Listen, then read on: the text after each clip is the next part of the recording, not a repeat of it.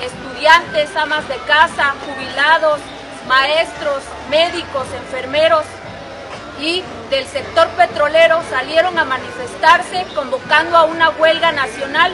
El gobierno de Lenin Moreno, con la cara más fascista que pudo tomar, declaró estado de excepción y sacó a los militares y a todas las fuerzas castrenses a la calle. Nos solidarizamos con la lucha que hoy emprenden los diferentes sectores de trabajadores en el Ecuador ante las medidas neoliberales que adoptó Lenin Moreno, presidente de Ecuador. Desde Oaxaca, capital de la resistencia, a nuestros hermanos trabajadores del pueblo ecuatoriano que están en pie de lucha.